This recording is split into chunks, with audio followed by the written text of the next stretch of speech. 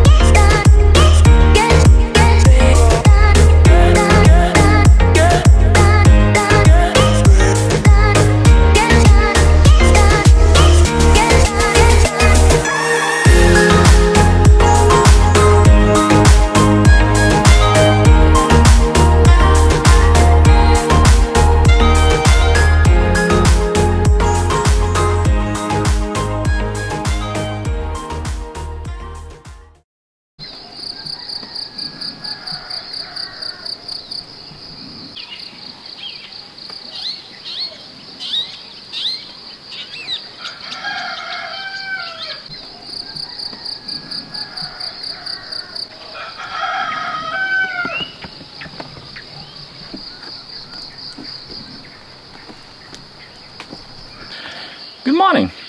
The weather's still pretty crap, but today is the big day. We're about to go to try to pass our uh, level 1 freediving exam.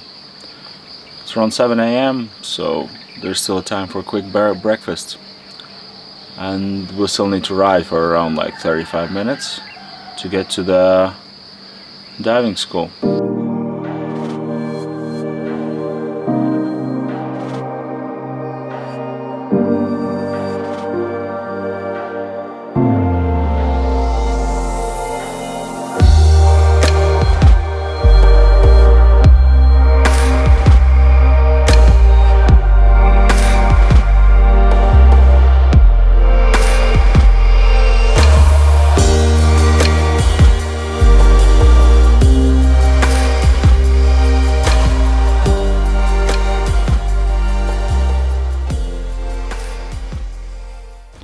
So in order to pass SSI level 1, you have to be able to uh, dive to 10 meters, then duck dive. As you can see it's here, well approximately, that, that's a pretty fat duck. You have to be able to save your instructor from 5 meters of death. And you have to go down 10 meters, take off your mask uh, to kind of imitate the situation if your equipment breaks. Before that, you also have to have some theoretical classes and uh, some practice in swimming pool. I was actually quite surprised that I didn't have a lot of problems to hold my breath for two minutes in the swimming pool. But uh, diving in the sea, of course, gives some extra psychological pressure because, well, swimming pool is still a safe environment. But once you're in the sea and you cannot see a bottom, it's uh, quite mm-hmm. quite psychologically difficult to get over yourself.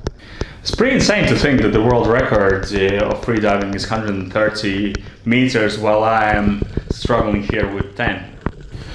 Probably the most complicated uh, issue was uh, adjusting the pressure in your ears, which you literally have to do every half a meter or a meter going down.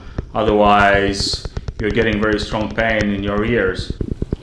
So if you would like to try it yourself, I will put the links in the description below about the schools that I use to learn.